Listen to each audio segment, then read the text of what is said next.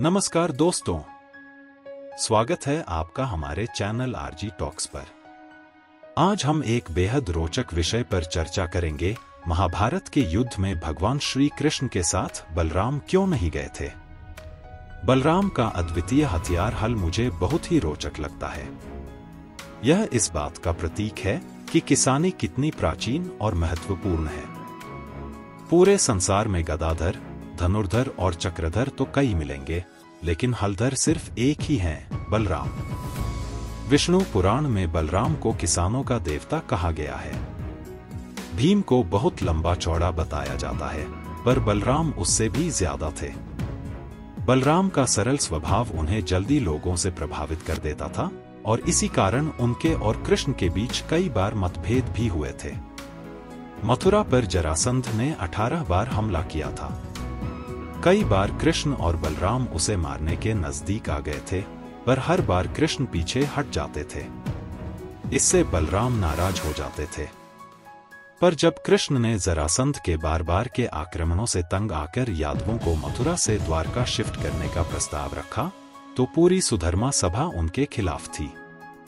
यह प्रसंग पढ़ने योग्य है, क्योंकि इसमें कृष्ण ने अपने तर्कों से सभी को मना लिया। यादवों को द्वारका चलने की जल्दी मच गई थी। यह प्रसंग विद्यार्थियों को तर्कशास्त्र का ज्ञान दिलाने के लिए स्कूल कॉलेज में पढ़ाया जाना चाहिए। जब अर्जुन ने सुभद्रा हरण किया, तब भी बलराम अर्जुन को दंड देना चाहते थे, पर कृष्ण ने उन्हें मना लिया। बाद में, राजसूय यज्ञ के दौरान बलराम की दुर्योधन से निकटता हुई और उन्होंने बलराम को अपना गुरु बना लिया। युद्ध क्रीड़ा में जो कुछ हुआ उसके लिए बलराम युधिष्ठिर को जिम्मेदार मानते थे। पर वे कृष्ण के खिलाफ युद्ध में उतरने की सोच भी नहीं सकते थे, इसलिए उन्होंने महाभारत के युद्ध में तटस्थ रहने का निर्णय लिया। पर मुझे लगता है कि दुर्योधन और बलराम के बीच पहले ही मंत्रणा हो चुकी थी। गुप्तचरों के माध्यम से बलराम को युद्ध का हाल पता चलता रहा। जैसे ही दुर्योधन के प्राण संकट में आए, बलराम सीधे वहीं पहुँचे जहाँ दुर्योधन छिपा था।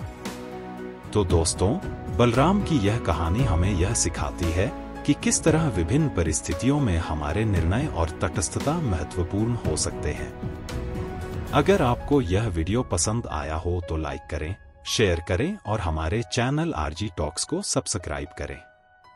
अगले वीडियो में फिर मिलेंगे एक और रोचक विषय के साथ। धन्यवाद।